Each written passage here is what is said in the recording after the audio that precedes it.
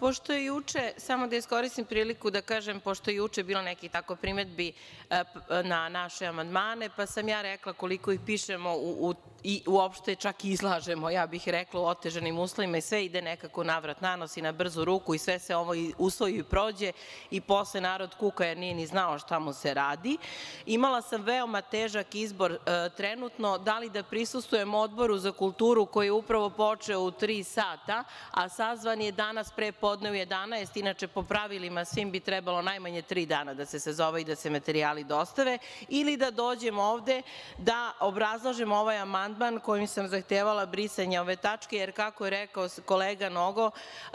vi ovde uvodite drakonske kazne za ljude koji su ionako osiromašeni. Naime, to je, ja bih rekla, dve strane medalje ovog zakona, obe su loše, jedna je što će biti očigledno tog partijskog zapošljavanja koje se priprema kroz ovaj zakon i nametanja tih upravnika koji će biti neophodni, a druga strana je naravno ovo udaranje po džepu, ovaj harač i ovo osiromašivanje ionako siromašnih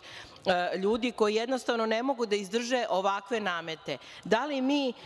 zbog čega su nam potrebne ovakve drakonske kazne u ovim slučajevima, recimo, ja sam predložila brisanje tačke 7 jer nisu dobro obrazloženi, a to sam već obrazlažući jedan od ranijih amandmana rekla, nisu dovoljno precizno izrečeni uslovi pod kojima vlasnik posebnog dela zgrade ili stana mora da omogući korišćenje ili prolaz kroz svoj stan. I sada kada u tim nedovoljno jasnim uslovima on recimo to odbije, onda mu se recimo razreže kazna od ne znam 150.000 dinara. Pa molim vas na šta to liči? Znači, ja mislim da je jedna od svrha ovog zakona jednostavno udaranje po džepu ionako osiromašenih građana. Hvala.